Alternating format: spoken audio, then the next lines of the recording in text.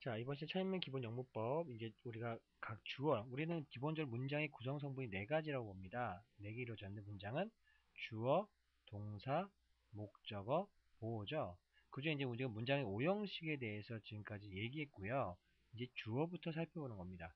보통 주어가 될수 있는 명사에 관련된 명사 종류죠. 명사 종류는 뭐예요? 보통 명사가 있고 대명사가 있고요. 그 다음에 또 어떤 게 있습니까? to부정사, 그 다음에 동명사, VING 있죠? 또 어떤 게 있습니까? that절이죠. that절. 이 완료된 문장, 뭐뭐 하는 것 또는 WH로 시작하는 의문사로 시작하는 문장인데 앞에 명사가 없으면 이게 명사절이죠. 그런 것들이 보통 뭐뭐 하는 것에서 뒤에 뭐 없습니까? 은는 이가 붙어서 명주어 역할을 합니다. 자, 그래서 우리가 이제 구분한다 보면 여기서 명사 구니까 주로 뭐예요? to부정사나 동명사겠죠. 뭐야? 구라는 거는 단어 두 개 이상 모이면 구고요. 주어 동사가 있으면 절이죠. 자, 그럼 우리가 문장을 봅시다. to부정사 쭉 있고 주어 동사가 나오면 이게 뭐예요? 얘는 뭐예요? 부사구죠, 부사구. 자, to부정사는 동사가 바로 나오면 뭐예요? 얘가 주어 역할을 하는 거죠. 이런 겁니다.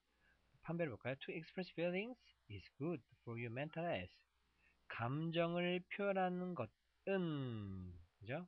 너의 정신 건강을 위하여 좋다. 그죠? 그죠? 주어 동사 이렇게 합니다. 그 다음 starting the day actively with morning exercise is a key to losing weight.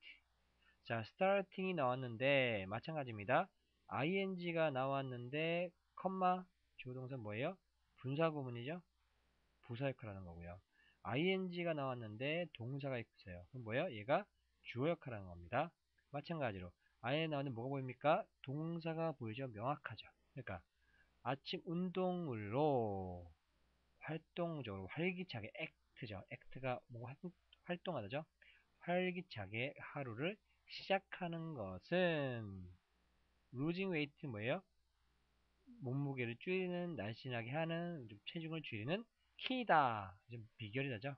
그래서 우리 문장 구조를 볼 때 이렇게 이 뒤에 동사가 오느냐 아니면 콤마가 와서 조동사 이런 것들 구분 잘해야죠. 물론 SV하고 이렇게 to부정사 와도 이런 경우에 부사 역할 하고요. 문장 완료된 경우에는 마찬가지 ing와도 뭐뭐 하면서 분사 구문 역할을 하는 것도 있습니다. 나중에 얘기할 기회가 있겠죠. 이번 시간 여기까지 할게요.